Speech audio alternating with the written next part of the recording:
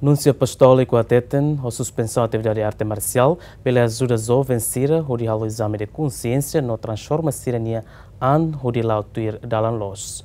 Turmai te acompanha a entrevista com o Sr. Marcos Prezi, a muito com o jornalista Ziemen Mateus Romário.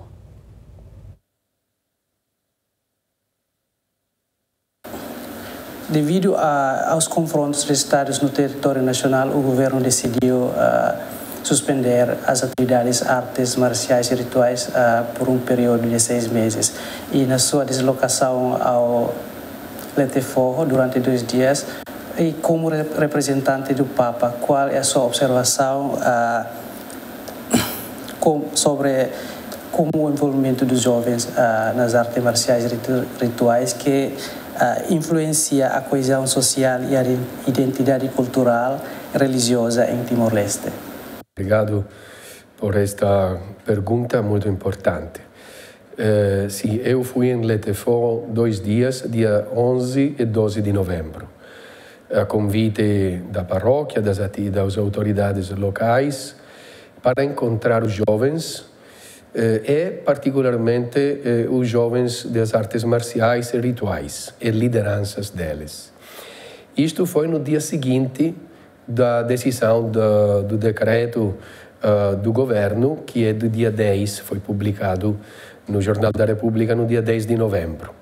Suspensão por seis meses das atividades deles. E no dia seguinte eu encontrei. Então foi particularmente interessante ouvir e perceber a resposta da parte deles. Eh, eu percebi que eles aceitaram, pelo menos os que eu encontrei. Lá em Letefort, eu devo dizer que o pároco, o padre Hélio, eh, faz um trabalho já há bastante tempo com jovens das artes marciais e rituais. Ele conseguiu incluir, envolver, acolher estes jovens no âmbito das atividades da igreja, das atividades da paróquia, ah, das orações. Ele organiza com os jovens de artes marciais encontros de oração, terço, adoração do Santíssimo Sacramento, e eles eles se deixam envolver. No começo, não, não era assim, mas pouco a pouco, com um trabalho pastoral bonito, eles se deixaram envolver nas coisas da paróquia. Então, este é o caminho, não uh, marginalizar a eles, não excluir a eles do tecido da igreja, da comunidade da igreja e da comunidade social, mas orientar a eles e envolver a eles na construção da sociedade timorense e na construção da comunidade da igreja. Então eu fui, justamente fez esta proposta para eles, em nome do Papa, em nome da igreja inteira católica, eh, eles receber esta decisão do governo de uma maneira positiva. Esta decisão não é para eh, destruir a elas ou as suas atividades desportivas, mas é uma decisão a ser recebida positivamente para fazer um exame de consciência profunda da parte deles e tomar uma escolha, fazer uma escolha, uma opção decisiva, deixar a violência e abraçar o caminho da fraternidade, da unidade da paz. Eh, também eu mostrei a eles, através de perguntas respostas, eles me fizeram muitas perguntas, que na própria filosofia das artes marciais tem este sentido do respeito dos adversários, do, do colega, do uh, competidor no desporto. Tem muitos valores humanos positivos de sacrifício, de disciplina, de camaradismo, de respeito. Então, eles que são católicos e cristãos acrescentam também o valor do amor ao próximo e eles poderão, depois, quando o governo decidirá para a reabertura, eh, praticar a atividade desportiva de maneira conforme à Constituição timorense, às leis timorenses e conforme ao Evangelho, à nossa fé que eles também partilham. Senhor, eh, há evidências de que jovens envolvidos em atividades artes marciais têm maior propensão à violência. Eh, em caso afirmativo, quais são os principais desafios associados a, a essa questão? Sim, é verdade. Estatisticamente, podemos dizer que há esta maior propensão por causa de um desporto que em si é um desporto que ensina uh, técnicas, métodos de luta, eh, de luta eficaz. Mas eu posso dizer que no próprio Vaticano tem equipa desportiva de várias disciplinas, entre elas tem a equipa de Taekwondo. Taekwondo é uma arte marcial que vem da Coreia, muito parecida com Karate, e, e tem também a equipa de Judo, que são duas disciplinas olímpicas autorizadas e regulamentadas pelo Comitado Olímpico Internacional. Então, se trata, se o Vaticano tem a própria equipa de Taekwondo, significa que não tem oposição, em princípio, entre a arte marcial e a fé católica e o, o estilo, o espírito de fraternidade.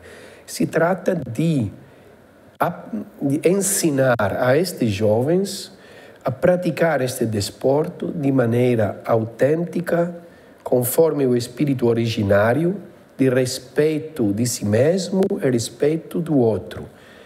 E isto também na luz da fé, no amor do outro, no amor da fraternidade.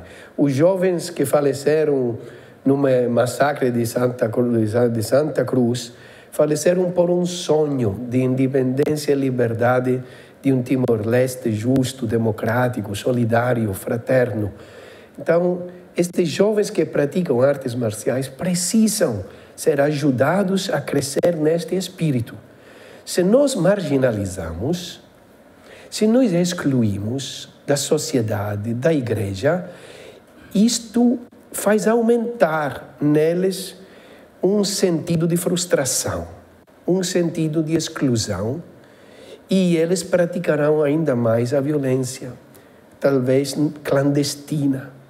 Então, as, as um, decisões de polícia, decisões severas, ajudam, mas por um tempo. Mas o que ajuda mais é a formação, a educação, a orientação e a acolhida deles para escutar e ajudar a eles a crescer como bons cidadãos. Então precisamos a igreja fazer também um grande esforço junto com a escola, junto com as outras eh, instituições eh, sociais para eh, acompanhar estes jovens, porque cada jovem tem um coração bom. Trata-se de valorizar o bom e de corrigir o mal.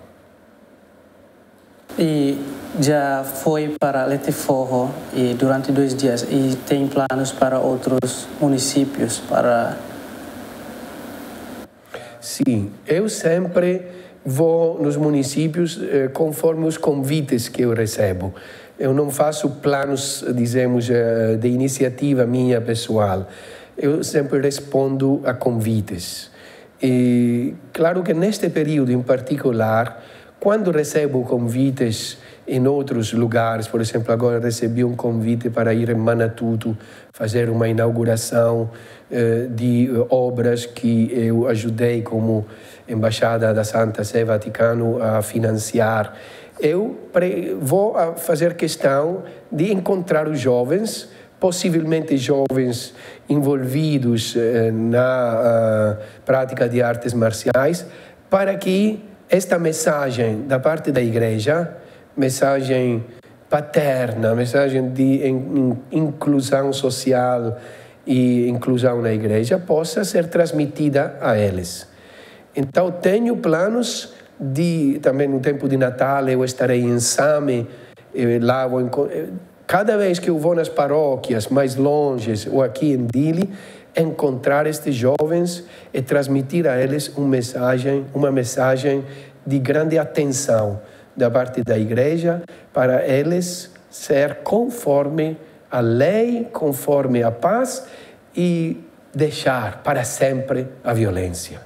Bom, senhor, eh, notamos que nos últimos anos a, presen a presença de seitas em Timor-Leste também eh, subiu bastante e com essa presença torna uh, um desafio para a igreja local.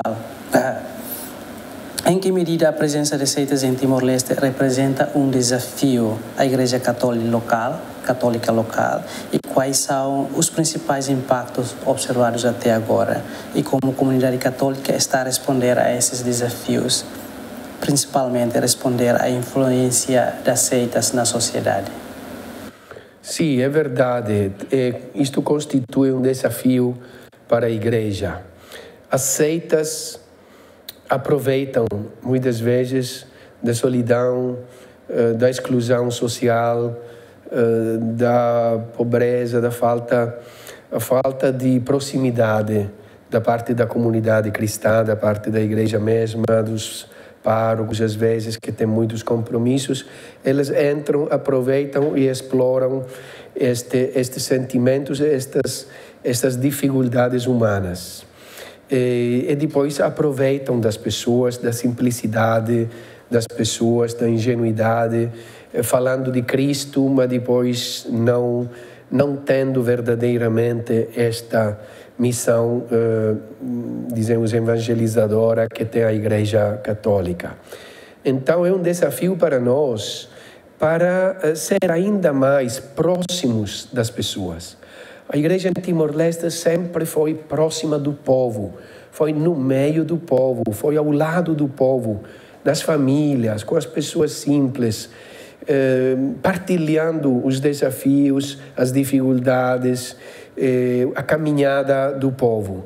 Então, um desafio para nós e para os padres, as irmãs, eh, os catequistas, eh, os jovens católicos, a, a estar perto do povo, especialmente dos que mais precisam de atenção. Então, este, com o, o, argumento anterior, o tópico anterior dos jovens das artes marciais, tem um pouco a mesma raiz. O quanto mais nós somos próximos eh, das pessoas na vida cotidiana, na, nos, nas suas eh, dificuldades, quanto mais nós eh, evitamos e hum, preservamos o povo das coisas erradas. Eu não sei estatisticamente, porque eu vejo que o povo timorense está muito ligado à fé católica, à Igreja Católica. Então, talvez essas seitas ainda são muito marginais. Mas temos que fazer muita atenção muita atenção, não através de proibição. Isto é, isto é negócio do governo, onde encontra coisas que são contrárias às leis e à Constituição. A nossa parte é apresentar o amor de Cristo, é testemunhar o amor de Cristo próximo ao povo.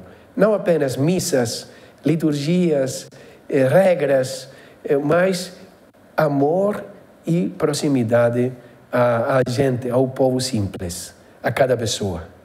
Por último, Monsenhor, eh, qual é a mensagem principal que o Papa gostaria de transmitir para os jovens timorenses neste momento? Sim, a mensagem do Papa é esta: Cristo, Deus, acredita nos jovens. A cada jovem, Jesus diz: Eu acredito em ti. Eh, eu te amo. Eh, how domin, how adomi, esta é a frase que Jesus diz a cada jovem. How adomio, eu acredito em ti, eu confio em ti. Então, cada jovem deve sentir este amor de Cristo e esta confiança que Cristo tem para responder com igual amor e igual confiança. Cada jovem tem um sonho. Este sonho não se realiza através da violência, não se realiza através eh, da arrogância, através de uh, contraposição com a sociedade.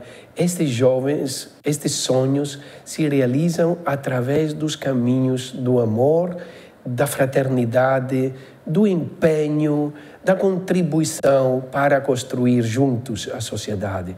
Então, o Papa, em nome de Cristo, diz aos jovens de ter confiança em si mesmo e na igreja, com todas as suas limitações, e no amor de Deus, para fazer de Timor cada vez mais, como João Paulo II falou, luz da terra e sal do mundo. São os jovens que devem recolher esta herança dos, uh, dos velhotes, dos, dos que fizeram grandes esta, este caminho de independência para construir este Timor na justiça e na paz. Monsenhor, agradecemos a sua disponibilidade. Muito obrigado.